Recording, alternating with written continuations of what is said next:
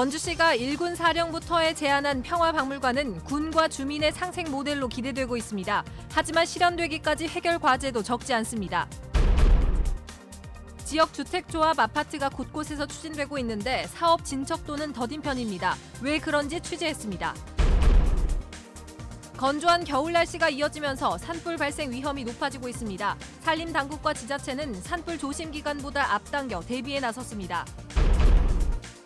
강원도가 전국 처음으로 올해 1월 1일부터 태어난 출생아에게 매달 30만 원씩 4년 동안 육아수당을 지급합니다.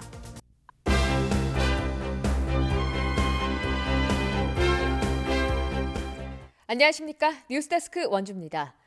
원주시가 제안한 평화박물관은 군과 주민의 상생 모델이 될 것으로 기대되는데요. 하지만 예산과 국방부의 의지 등 박물관이 실현되기까지 넘어야 할 산이 많아 보입니다. 조성식 기자입니다. 군과 함께하는 다이나믹 댄싱 카니발 개막을 선언합니다. 군인들의 절도 있는 동작과 화려한 퍼포먼스가 관객들을 매료시킵니다. 원주시와 군이 함께 만든 댄싱 카니발. 군사도시라는 지역의 특성을 살려 이제 세계적 축제로 거듭나고 있습니다. 그리고 일군 사령부가 떠난 자리에 또 하나의 합작품이 기대되고 있습니다. 원주시가 국방부에 평화박물관을 제안한 것입니다. 전체 부지의 4분의 1 정도만 사용한다는 계획이어서 새로 이전한 부대에 영향이 적고 공원도 함께 조성해 시민들에게 부지를 환원한다는 의미를 가질 수 있다는 것이 원주시의 생각입니다. 우리 시민들과 아, 그 군이 상생하는 그런 모양새를 갖춰가는 것이 시민들한테 그나마 아, 이해를 구하기가 쉬울 것 같아서 그렇게 제안하게 됐습니다. 하지만 이를 실현하기까지는 갈 길이 험해 보입니다. 부산시의 경우 3년 전부터 전쟁사 박물관 건립을 추진했지만 국방부가 예산 문제로 불가 입장을 보였고 전쟁 기념 사업의 주체를 국방부에서 보훈처로 변경하는 법률 개정안이 발의된 것도 변수로 작용하고 있습니다. 원주시는 국방부를 찾아 본격적인 의견 타진에 돌입했습니다. 군과 주민의 상생 모델이 될 것으로 기대되는 평화 박물관을 과연 국방부가 수용할지 여부에 관심이 쏠리고 있습니다. MBC 뉴스 조성식입니다. 비교적 저렴하게 내 집을 장만할 수 있는 지역 주택조합 아파트가 곳곳에서 추진되고 있는데요. 하지만 추진 과정에서 잡음이 일기도 하고 전반적인 부동산 경기의 흐름도 둔화돼 사업의 진척도는 더딘 편입니다. 황구선 기자입니다. 계획대로라면 이달 입주가 시작될 지역 주택조합 아파트 사업 부지입니다. 곳곳에 건축 폐기물과 쓰레기가 버려져 있고 경작 금지 현수막이 내걸렸습니다. 전 조합 관계자와 업무 대행사 관계자가 사업 부지 일부를 개인 소유로 바꾼 혐의로 재판에 넘겨지는 등 사업 기간 잡음이 끊이지 않았습니다. 조합원들은 새 임원진을 꾸려 주택 건설 사업 계획 승인 절차를 준비하고 있습니다. 최근에는 시공사 선정 총회까지 마무리를 다 무사히 해서 지금은 사업계획 승인 신청 준비를 밟고 있는 상태입니다. 다른 조합 아파트들의 사정도 대부분 비슷합니다. 원주에서는 10여 곳에서 조합 아파트 설립이 추진되는 것으로 알려져 있습니다. 이 가운데 조합 설립 인가를 받은 4곳 중 두 곳에서만 주택 건설 사업 계획이 승인됐습니다. 네 군데 설립 인가 나간 곳 중에 한 곳은 공사를 지금 진행 중에 있고요. 하나는 승인을 받아서 착공을 하려고 좀 조합 아파트는 일반 분양가보다 보통 20% 정도 저렴한 점을 내세우고 있지만 수백억 원대 가입 계약금 운영 상황을 조합원들이 알기 어려워 위험 부담도 안고 있습니다. 탈세를 하더라도 내가 낸 돈 전체를 못 돌려받게 되고 그동안의 사업비로 집행이 된 돈들은 빼고 남아있는 조합 재산 중에 분담금을 일부 돌려받는 정도? 사업 부지를 확보하고 조합원을 모집 관리하는 업무 대행사가 무자격 업체인 경우도 있어 꼼꼼한 확인이 필요합니다. 전문가들은 사업 부지 확보와 잔금 지불 여부를 확인하고 수시로 사업비 지출 내역을 점검할 것을 조언합니다. MBC 뉴스 황구선입니다. 이번 겨울 들어 건조한 날씨가 이어지면서 산불 위험이 상당히 높습니다. 산림청과 지자체가 산불 조심 기간을 앞당겨서 대비에 나서는 등 비상 체제를 유지하고 있습니다. 배연환 기자가 보도합니다. 새해 첫날 양양군 서면에서 발생한 산불은 이틀 동안 이어져 20만 제곱미터에 달하는 피해가 발생했습니다. 2017년과 2018년 2년 연속 동해안에서는 피해 면적이 100만 제곱미터가 넘는 대형 산불이 발생했습니다. 동해안에는 건조한 날씨가 계속되고 있고 산에는 이처럼 바싹 마른 나뭇잎들이 가득 쌓여 있어 산불이 날 가능성이 상당히 높은 상황입니다. 강릉 지역을 기준으로 지난달 중순부터 한 달 가까이 건조특보가 내려져 있고 당분간 눈비 소식도 없습니다. 현재 강원 동해안과 산지에는 건조 경보가 그리고 철원과 화천을 제외한 강원 내륙에는 건조주의보가 발효 중입니다.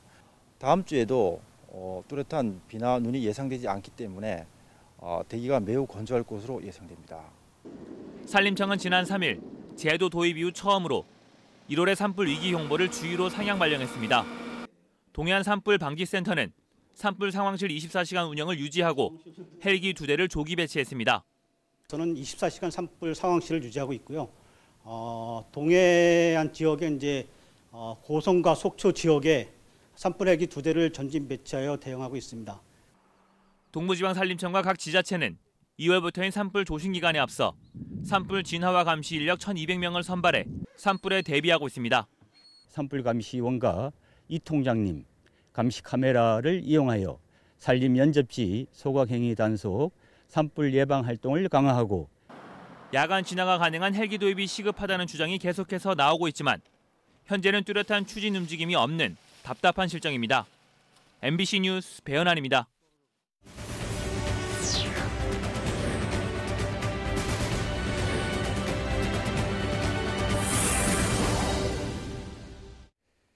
다음은 희망 2019 나눔 캠페인에 성금을 보내주신 분들입니다.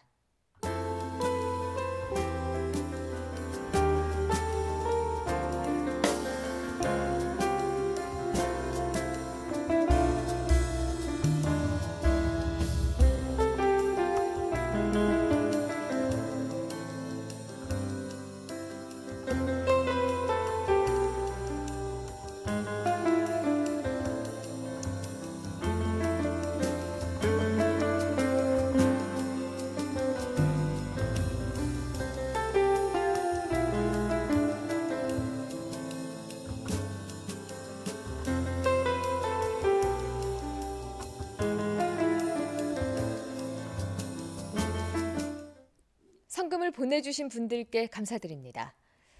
강원도가 전국 최초로 올해 1월 1일부터 태어난 출생아에게 매달 30만 원씩 4년 동안 육아수당을 지급합니다. 강원도는 보건복지부와 협의 끝에 월 70만 원에서 30만 원으로 지원 규모를 축소해 육아수당을 지원하게 됐으며 추경 예산을 편성해 3월부터 신청 접수를 받는 등 본격적으로 시행한다고 밝혔습니다. 강원도에서 출생하는 아동은 정부 아동수당과 가정 양육수당을 포함할 경우 최대 월 60만 원을 지원받게 됩니다. 강원도의 출생아 수는 2001년 16,873명에서 작년 8,494명으로 49.6%가 급감해 내년 초고령 사회 진입이 예상됩니다. 2019학년도 중학교 입학 추첨 결과 91.4%의 학생이 일지망 학교에 배정됐습니다. 원주 교육지원청이 중학교 입학 예정자 3,028명을 대상으로 컴퓨터 추첨을 실시한 결과 91.4%가 일지망에 배정됐고 1%인 29명이 육지망에도 배정이 안 돼서 임의로 배정됐습니다. 올해는 북원 여중이 남녀공학으로 전환되면서 남학생 쏠림 현상을 보였습니다. 학생들은 오는 18일까지 해당 중학교에 등록을 마쳐야 하며 원주로 전입하거나 이미 배정된 학생 중 희망자를 대상으로 다음 달 13일 재추첨이 실시됩니다. 원주의 대표 관광지로 급부상한 소금산 출렁다리가 개통 1주년을 맞았습니다. 원주시는 오늘 소금산 출렁다리 시점부 데크에서 1주년 기념 행사와 축하 공연을 열고 관광객들에게 무료 개방했습니다. 출렁다리는 개통 117일 만에 방문객 100만 명을 돌파했고 1년 누적 관광객도 186만 명이 넘었습니다.